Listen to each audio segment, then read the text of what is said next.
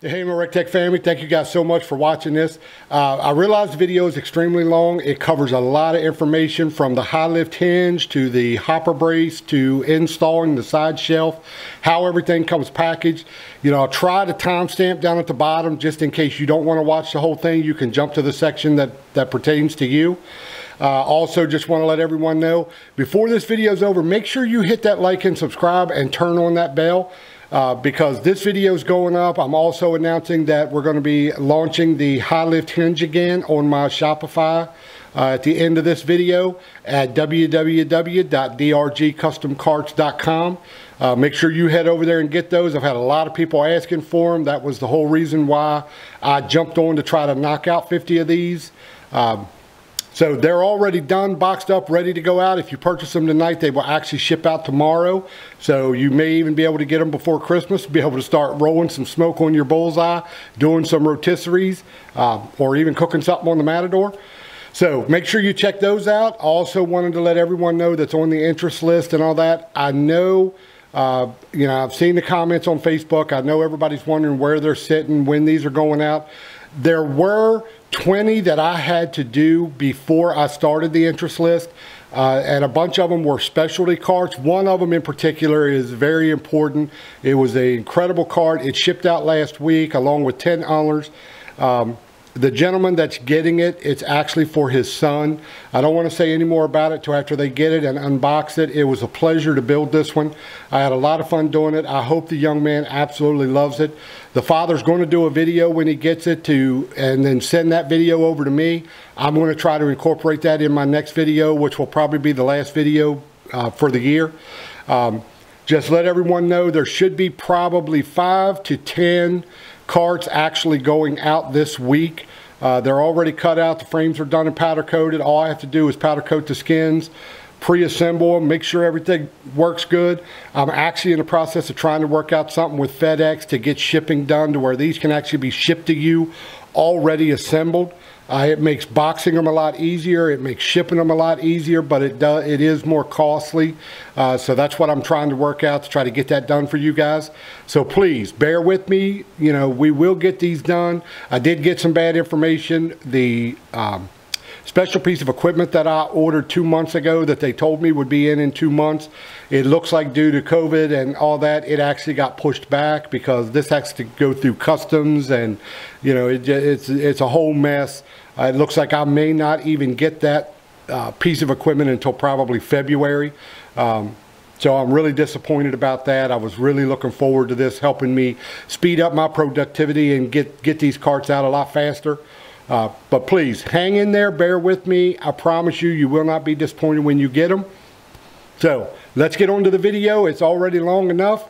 So, as always, my friends, I'll see you on our next build.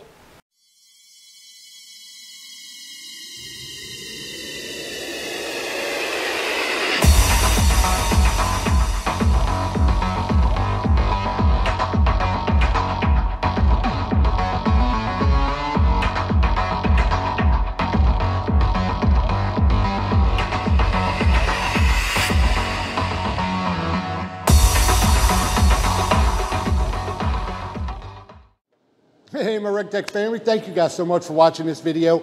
I realize the video is extremely lengthy. It's got a lot of material I needed to try to cover. You know, this is probably gonna be, I only have one video left to do before the end of the year. That's gonna be for a unveil of a very special cart that I built for a young man. Uh, he should actually get that on Tuesday. I can't wait to share that build with you guys.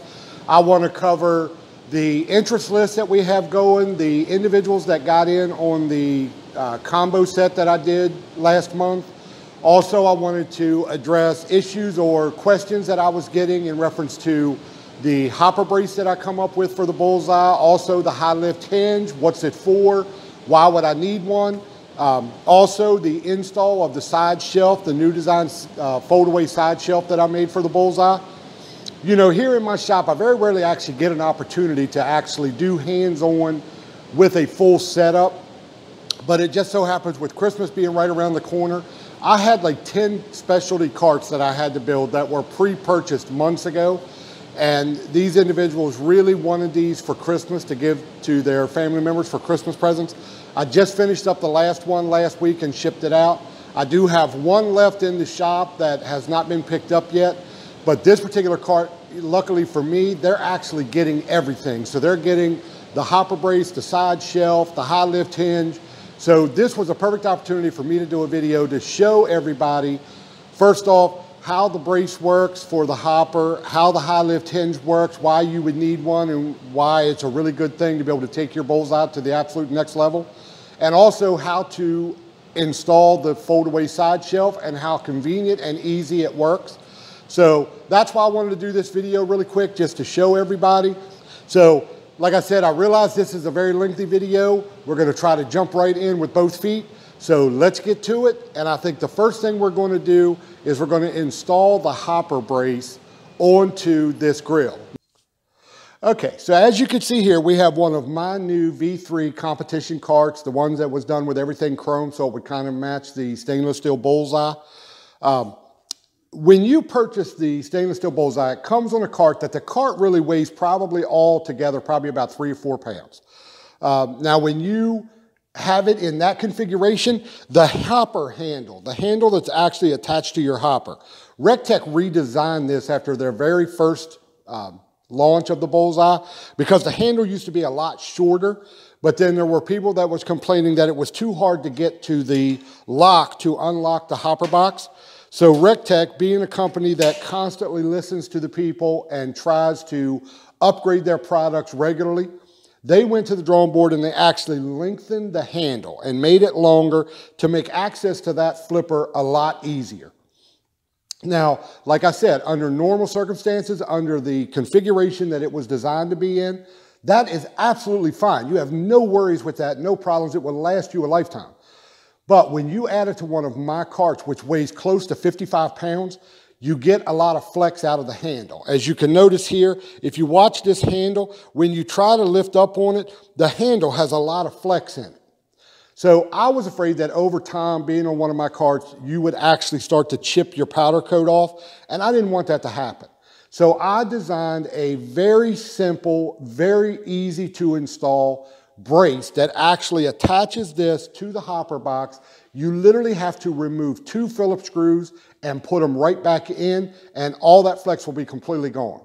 So let's go up close. I'll show you exactly step by step how to do it. So hold tight, we'll be right back. Okay, so when you order one of the hopper braces for your bullseye, it's gonna come like this. It comes in a USPS flat rate box. When you open it up, you're going to have the handle with the brace. Now this is Recteq's original handle. Actually has Recteq in it. This is a, a quality part. It's going to have my powder coated high gloss black brace and you're going to have the instructions telling you how to install it. Hopefully I'm not going to need the instructions today. So this is so simple to install. Now, the absolute best thing you could use to install this, because all you have to do is remove two Phillips screws and then put those two screws literally right back and you are done. So when it comes like this, peel the tape off. And you're going to notice that the handle comes apart in two pieces. You have the top, which says Recteq grills on it, and you have the back, which has the grippers so you can lift it, and the screw goes right through the center. Now, I don't know if you're going to be able to see this, but you're going to notice that the hinge, the back part, actually has a nipple that sticks up. And when you slide this up in the bottom, that should actually lock over that nipple. Okay, so I don't know if you could see that. Now, to install it, your absolute best friend is going to be what's called a stubby Phillips screwdriver. It's a very short, about two and a half inch long. But if you don't have one of those, almost every one of us has one of these screwdrivers, which is the bent Phillips screwdriver that came with your grill so that you could put the bolts on the hopper brace and the handles. If you have this, that's all you need, okay? So we're gonna go up close. I'll show you exactly what to remove, how to do it. Stay tuned, we'll be right back. Okay, Right here in the handle, you'll notice in the back, there is actually a Phillips screw right in the middle. Use the little screwdriver that came with your kit and just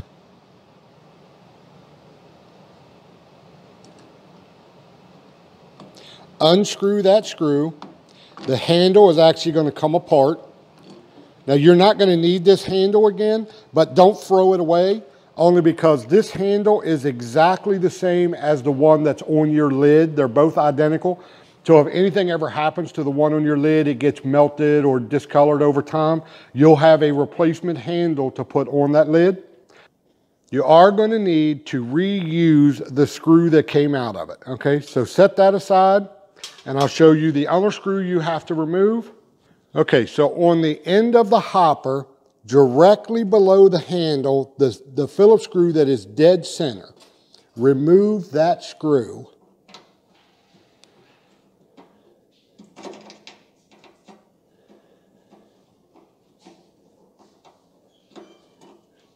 All right, and you're also going to reuse that screw as well. All right, you're going to notice that the two screws are two different sizes. You're going to notice that one is short, one is long. The long one is the one that goes through the plastic handle. The short one goes back into the bottom of the hopper. Okay? So what you're going to do is take the handle apart, set the back up over the metal handle, put the front on, make sure you have Recteq sitting the right way, which is engraved in the front. I've done that a couple times, put it on upside down, had to take it back off. Take the long screw, put it through the back, and tighten it up. All right, once you got that tight, then you're going to take the little screw and you're going to put it right back through the bottom of the brace, right back into the hopper where it was before. And just snug it down, and now you're done. You now have the hopper brace installed and there is no flex on the handle at all. It's that simple. Now you have reinforced it. No more fears that your powder coat's going to chip. Everything is solid as a rock the way it should be. All right, so now let's move on to our next project. Okay, so here we are at the grill you're going to notice if you have any, if you have one of the new V2 or V3 competition carts, and you're going to notice that under the word bullseye on the A-frame, there have actually been two stainless steel bolts already installed, shipped with the cart. Those are there so that you could add the fold-up shelf on the side later if you wanted to. So right now what you could do is remove those two bolts, take your brace that is on the support bar that came with your shelf and you're going to install it at this location. And the way the hinge goes on is it goes on with this aiming up in the air. So don't put it on like this. It goes on this direction, okay? So install that.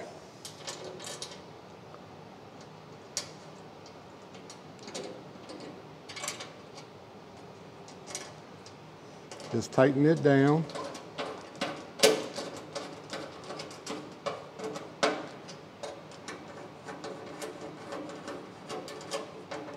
Just like that. Now your bottom brace has been installed.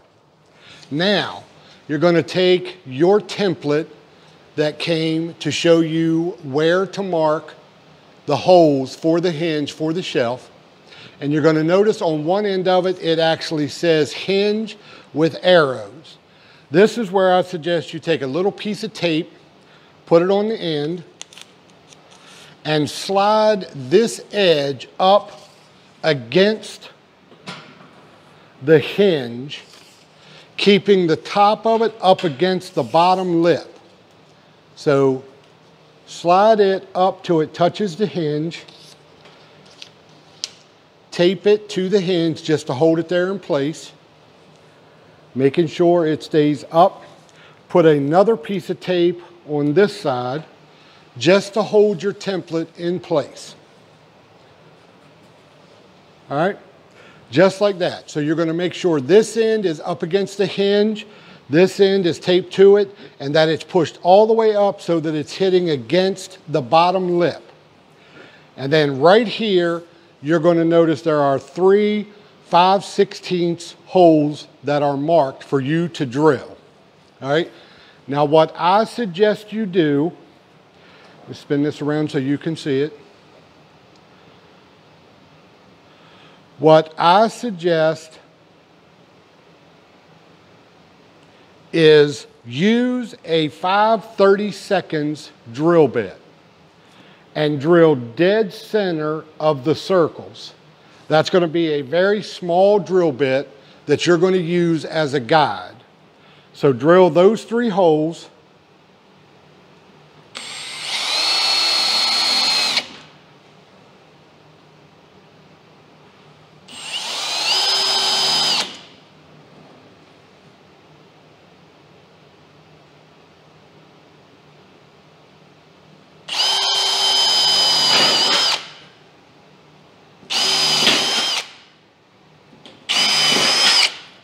Now you can actually remove your template off of the grill. You now have your three guide holes set for your hinge. Now use the 5 16 drill bit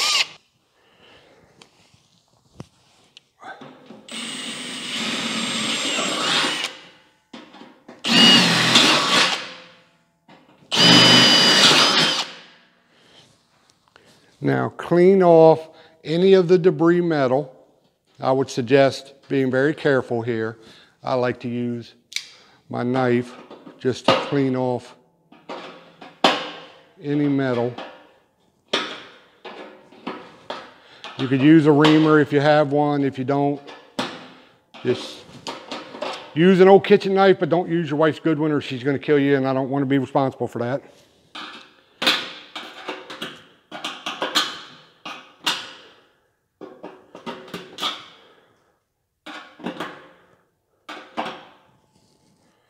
All right, now that you have your three holes drilled, you're going to take your hinge and you're going to remove the three stainless steel screws.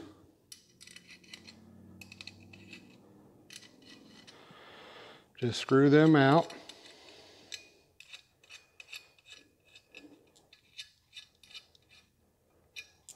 All right, and then just hold it up to those holes. Start the screws in the back. Now with your hinge all attached, you're going to take the shelf, hold it up against the hinge, and you're going to insert your aluminum pin.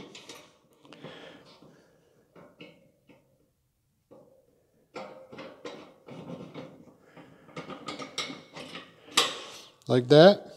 And then you're going to install your cotter key. And now technically your shelf is installed.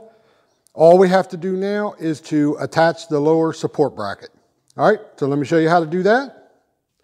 Okay, so now you're gonna take your support brackets. You're gonna notice in one end, it has an insert that is threaded. The other end just has a rubber cap. On the end that's threaded, you're going to screw this onto the T-bolt that is on the bottom of the shelf. All right, so just screw it in and screw it all the way up.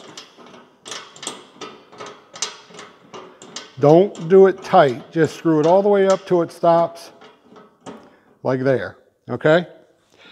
Now, you're gonna lift up on the shelf and you're going to take the brace and set it over the side into the bracket on the bottom. So let me show you that. Okay, with your bottom bracket installed, you're gonna raise up on the shelf and you're going to set the support bar over the side and into the saddle. Don't try to raise the shelf up far enough to get it over the brace. Go in from the side, set it in there so it's in that position. All right, Okay, now that you have the bottom brace set into the saddle the way it goes, you may notice by looking at the video that the shelf is actually going downhill. So it needs to be adjusted up to get it level. This is part of the reason why I come up with the new design so that you would be able to actually raise this up and down to get the table absolutely level. So what I recommend, what I normally do is I'll put a straight edge across the top of the grill. And you can see just how far off the shelf is. All right. So what I do is pick up on the shelf and unspin the bottom support bar, put it back, still needs to go up, keep spinning it.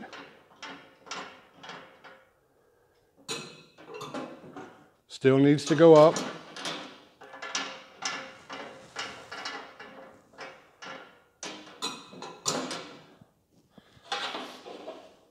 And there you can see it is perfectly level under. Now it's perfect. Now I don't pin with the pin. I don't pin the bar. I put an ear on this bottom brace so that you could lock your pin in there just so you could keep track of it. But the only reason that was done was for the competition guys that are pulling these in and out of trailers. It's to keep the shelf from bouncing around and maybe jumping out of the saddle. The only reason I don't pin it at, at home is because you only have the shelf up while you're cooking. And when you're done cooking and then later that evening you want to cover the grill up, you don't want to have to keep bending down and taking the pin out, putting it back in. So that's why the bottom bracket was designed as a saddle for this shelf to actually sit in. So there's no way for it to go anywhere. And without the pin in it, when you're done, all you have to do is raise up on it, lift it out, and lay the shelf down. And now you can put your cover on. That simple. You want the shelf up. That quick, you have your side shelf. All right. I hope that was informative. I hope that helped anyone. If you have any problems with it, please make sure you go back and watch the video again. If I haven't covered something, please let me know. Thank you very much. We'll see you on the next one. All right, so for everyone out there that was asking the other day, why do I need one of your hinges for the bullseye? Is this a necessity that I have to have? My answer to you is absolutely not. You do not need this hinge to use the bullseye, to enjoy it, to cook some amazing food on it. But if you want to take the bullseye to the next level and you want the bullseye to accommodate the Weber 2290 rotisserie, or you want to run Recteq's Matador skillet on it, let me show you exactly why you're really going to want to pick up one of these hinges. Um, so let me just show you how it works. Okay, so when you purchase the hinge, it's going to come, the new model hinge actually has an S cut in the back of it, which is for stainless. Uh, this is not made out of stainless. This is made out of 14 gauge hot rolled steel, welded reinforced L bracket on the back. Um, a lot of time went into designing this. That's why I couldn't release them. Uh, you know, the earliest I could was last week. I launched 10 of them. I now have 50 of them that's going up tonight for sale. Um, I wanted them to fit perfectly. And unbeknownst to me, you know, Recteq is an amazing company and they constantly listen to people. They listen to your feedback. They listen to your complaints. They are constantly tweaking every product that they make. Every time they get new batches of them, if there was an issue or there was something that you guys thought was going to be better or more efficient or whatever, Recteq takes all that into account. And a lot of times they modify the, the grill itself to make it just a step better. And a lot of times you don't even notice it but me, with being in the fabricating industry and I have to build products that'll actually work with theirs, a lot of times I have to go back to the drawing board and retweak mine as well to make them accommodated. And that's why there has been four models of this hinge. This is the latest one. And this hinge, as it is right now, it is only designed to work with the new stainless steel bullseyes, but it will work with the beta version. So let me show you exactly what you got to do, how simple this is once you set up your grill to go from original setup to putting the Matador on it, to putting the rotisserie on it, and then going back to stock. Okay, so as soon as you get the hinge, the very first thing that I recommend that I actually describe in the directions is you're gonna notice on the hinge that you put on, there is one guide pin that goes through the clamshell. Remove that off of the grill. So first thing you're gonna do is take two Phillips screwdrivers, you're gonna loosen up the Phillips screw, and you're going to remove the factory pin. All right, the factory pin you will never use again. All right, so put this somewhere safe, put it up somewhere where you won't lose it, but you're never going to use it again. Because as soon as you get the lift hinge, you're going to remove that and you're going to install one of my pins and put the clip on it. And now you're right back to using it in its factory setup state. But that makes it so much simpler when you go out and you want to put the hinge on. You don't need any tools. All you're going to do is you're going to pull the pin. You're going to, well, let me walk you through it and I'll show you exactly why this hinge is a must-have. So let's take a look. So let's just say that you're deciding that today you want to deep fry some fish and you want to use the Matador skillet and you want to put it on your bullseye. Well, all you're going to do is if you decided to use Recteq's Matador skillet, as you can see, it fits right in the bullseye perfectly. The handles are designed where they actually set on the lip and hold it. The only problem you have is if you try to close the lid, the lid doesn't close. So if you're cooking something and you want to, you know, just say you're doing shrimp and grits and you got them done, you've got the fire off and you just want to keep them warm and you want to close the lid to hold the heat in, you really can't do it in this setup. So that was one of the reasons I come up with the hinge. Because with my hinge system, you're simply going to pull the pin. You'll notice when you get the hinge, it has two slots cut in it. The top one is for the Matador, the bottom one is for the rotisserie. So you're going to slide the bottom hinge in to that cutout. Just like that. You're going to put the pin in it. Just like that, put the cotter key back on the end. Set your lid back on the pot. Put your pan through my hinge. Just like that. And now you can use the factory lid with the high lift hinge system. And now when you want to keep your products warm, when you close it, it hits right against the top of the pot, holds all the heat in. This, and you don't have to worry about an external lid. You don't have to worry about holding the lid in one hand while you're whipping something. You simply open it, season it, do whatever you're going to do, close the lid back up. Now let's say you want to put the rotisserie on pull the pan, just set the lid to the side, remove Recteq's Matador pot, pull the pin, raise it up to the second cutout, put the pin back in, set the rotisserie in your bullseye, just like that. Set the lid right back on. Put your pin through the new hinge. Just like that. Now you have the factory lid on the high lift hinge and now you can run the rotisserie and you don't have to worry about your lid. You don't have to worry about an external lid that you have to take off and hold. You still have everything back the way you always wanted it and say you're done with that, you've taken your bird off, you've enjoyed it, you went out the next day, you decided you're going to cover your grill back up, you don't want the rotisserie on there anymore, you want to go back to stock, pull the pin, set the lid to the side, remove your rotisserie, remove the hinge, set the lid back on it, chain back in it. Put the cotter key in and you are now back to working the way it was designed to work. Really, there's no simpler way in the world to take the bullseye and go from the Matador to the rotisserie and back to stock in less than 30 seconds. I mean, you saw how quick that was. Know, I had a blast designing this and making it. It is so versatile. I wanted something that you guys could really get the full benefit of what the bullseye can actually do. This thing is an absolute beast. It heats up extremely fast. It gets to unbelievably 750 degrees.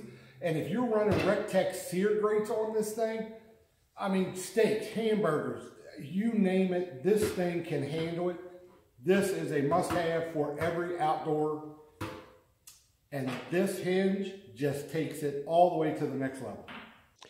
Okay, so let's say you already own the rotisserie and you want to know if by chance this hinge will actually work with your rotisserie.